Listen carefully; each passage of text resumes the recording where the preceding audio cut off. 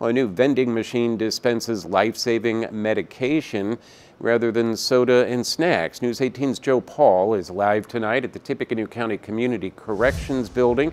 Joe, you're going to be telling us about this new vending machine and giving us a little demonstration. Yeah, hey Jeff, let me show you how this works. You just press a couple buttons here on the vending machine. This vending machine holds up to 300 doses of naloxone and it distributes them totally free of charge, just like that. Let me grab this for you. So this is a naloxone kit. It's also no known as Narcan, and it's a nasal spray that reverses opioid overdoses.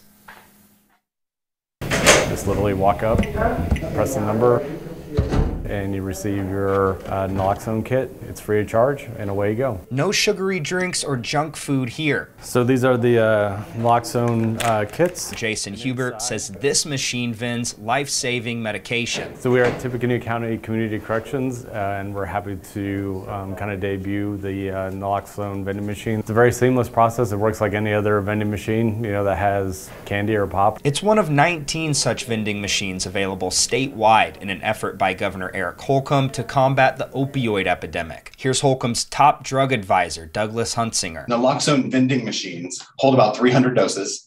Uh, we place them in areas like um, jails, community corrections, hospitals, um, places where you have a lot of traffic. And it's a no barrier, no shame. Uh, you just go right up to a vending machine. It looks like uh, anything that would dispense uh, candy or potato chips. A crucial resource as the super potent opioid called fentanyl rips through Indiana. It is so lethal, so deadly.